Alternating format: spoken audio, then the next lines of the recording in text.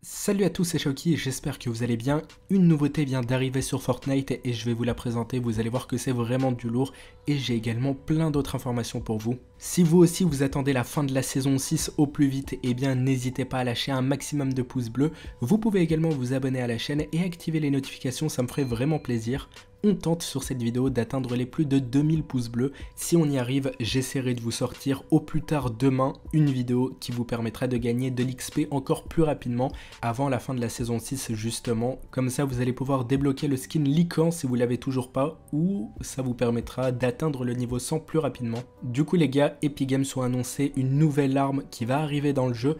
Faut savoir aussi que Epic Games ont annoncé une autre chose, les pompes ont été patchées, ou plutôt ils ont été améliorées. Par exemple, il était possible parfois de mettre des balles à 8 dans la tête, ce qui est vraiment très peu, et donc Epic Games ont décidé de modifier tout ça. Au lieu de mettre seulement un plomb sur un adversaire, et eh bien cette fois on en mettra minimum 3 et donc au lieu de faire 8 de dégâts, vous allez faire minimum 24, ce qui est largement mieux. Ce qui est sûr, c'est que cette nouvelle va faire plaisir à pas mal de joueurs et n'hésitez pas à me faire savoir dans les commentaires si vous en faites partie.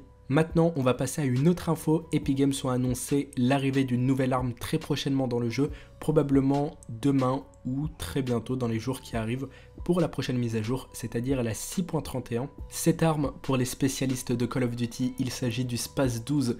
Tous ceux qui ont connu Call of Duty Black Ops 1, obligé, vous avez déjà testé cette arme, elle est juste magnifique.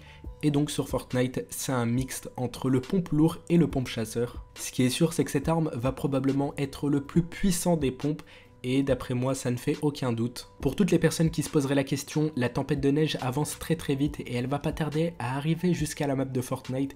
Et il faut savoir aussi qu'elle grossit et il y a quelque chose qui se prépare autour de tout ça. J'espère en tout cas que cette vidéo vous aura plu, n'hésitez pas à me dire ce que vous en pensez dans les commentaires.